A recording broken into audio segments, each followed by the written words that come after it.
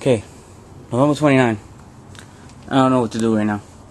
So I'm just gonna dig at something and and go. Alright, so it started to rain. I only had about an hour to play. But I got the pods back in, side pods. The bottom is secured. The top I gotta wait till I put the box in so I can secure it against the box.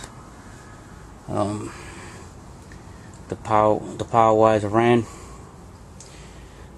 Gotta do the grounds. I guess I'm gonna start working on the well that wiring next and then um have all the wires ready before I do the box